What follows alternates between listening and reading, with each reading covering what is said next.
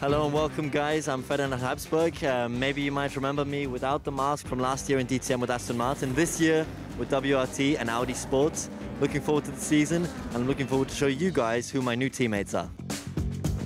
First on the line is Fabio Scherer. We'll introduce you to him and just follow me.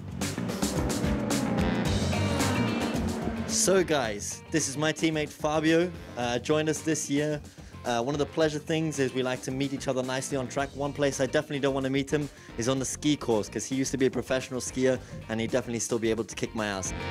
Maybe you can tell us a little bit about how you took the way, things away from skiing and into your racing. Actually, it was quite difficult to decide me for racing. I was quite professional in skiing as well, but at the end it felt quite easy because in skiing you don't have the, the pedals on tracks. And now you definitely made the right choice because you're my teammate and you must be the favorite person you've ever worked with, right? Yes, for sure. One more thing, Fabio, that we need to speak about. When I go to Switzerland, I love a cheese fondue, but I want to know what is your favorite cheese coming from Switzerland? Actually, I almost can tell it, but I don't like cheese. Well, isn't that a strange coincidence? And we continue.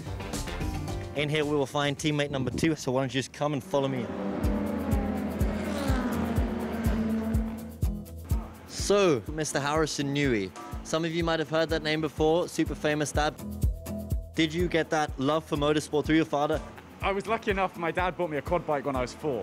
And, and I was on that and I always spent pretty much my whole life on it when I was young. I, would come home from school, still in my school uniform, put my helmet on, go out. He was, he was at work still, I would start it myself and uh, and that's when I realized that I really wanted to race cars, you know, or, or, race something with an engine. One other thing I wanted to know is you lived in Japan racing uh, last year, and did you learn the language? Did you learn the culture? Um, I loved it. I thought it was really cool. You know, it's such a different place. I was so so lucky as a 21 year old to live in a different country like that. I learned so much. The cars out there are incredible. The fans, the whole atmosphere out there is incredible. And I think the whole culture is so different to what we have in Europe. And I think everyone should go and experience it.